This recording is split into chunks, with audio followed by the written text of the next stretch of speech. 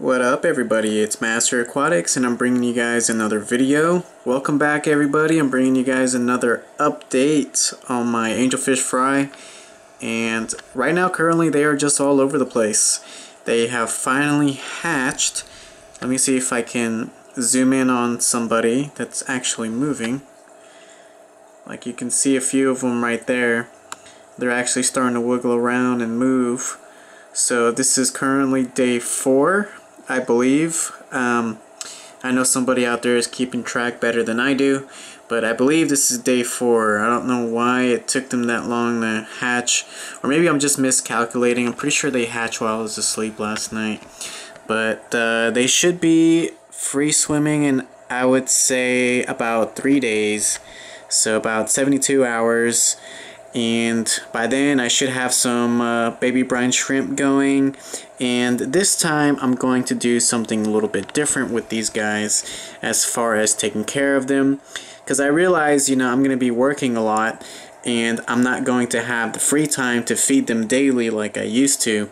So I actually um, thought of a method to um, counter that so pretty much, I'm not going to go too much into detail as to what I'm going to do. You guys will see in the next few videos, so stay tuned for that.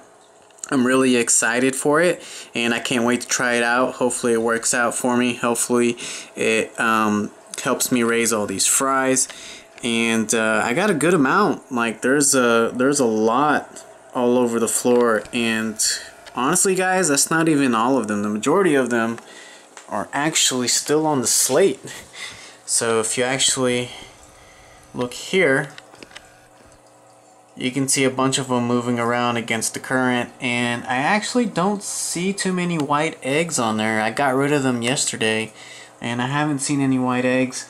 I did turn up the uh, pump a little bit more and uh, give them a little bit more aeration to keep them uh, clean and make sure that the fungus does not stay on them because I want to make sure that these guys survive. I'm really shooting for a high survival rate with this batch.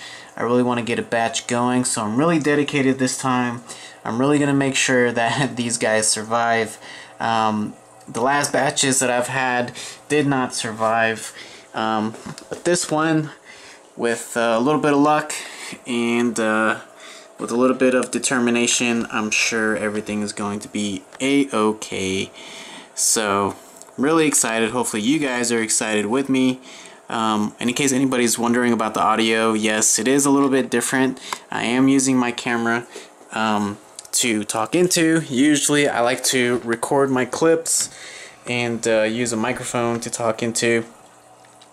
Oh, and there, there's the white eggs right there. They uh, somehow landed on top of the sponge filter, but uh, not a big deal.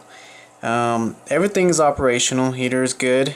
Um, sponge filter is just not pumping too much air, which is okay, I guess. I don't really need too much right now.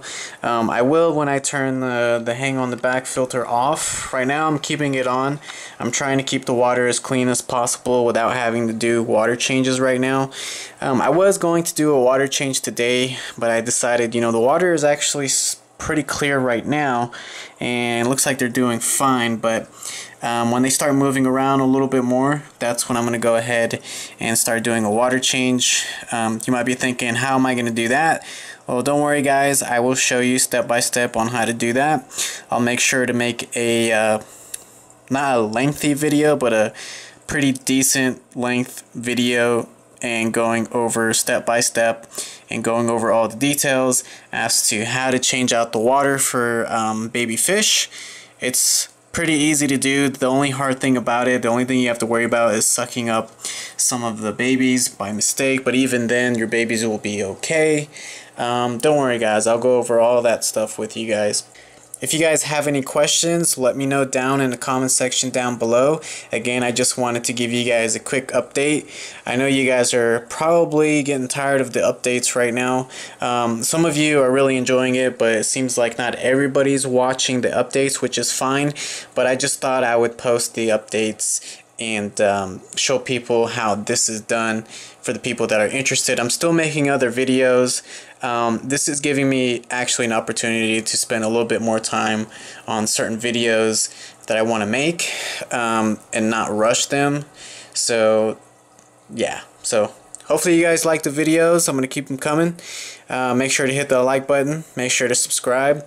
And I'll see you guys in the next video. Take care and have a great week, guys. Bye.